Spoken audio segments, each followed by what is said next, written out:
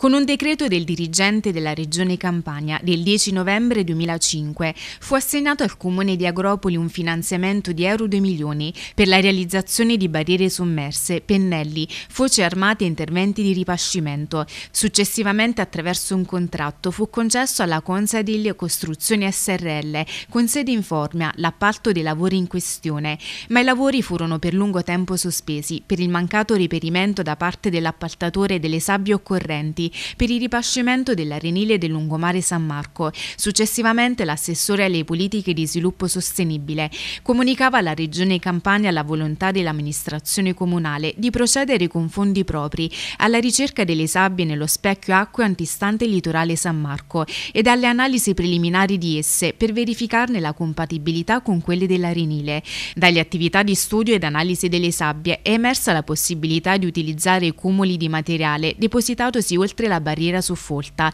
Con una deliberazione della giunta comunale fu richiesto alla giunta regionale della Campania la modifica della fonte finanziaria e l'ammissione al finanziamento a valere sul pertinente obiettivo operativo del Port Campania FESR 2007-2013, le cui risorse non erano soggette al vincolo del patto di stabilità e consentivano una più veloce liquidazione delle spese, ma tale richiesta non ebbe esito positivo e quindi la fonte di finanziamento è rimasta quella originaria. Si propone propone dunque di approvare il progetto esecutivo degli interventi finalizzati alla protezione dei litorali di Agropoli dai fenomeni di erosione costiera e dai rischi ad essa connessi, secondo l'otto secondo stralcio, depositato dal direttore dei lavori ingegner Francesco Sarnicola, in data 11 settembre 2015, per un importo di circa un milione di euro.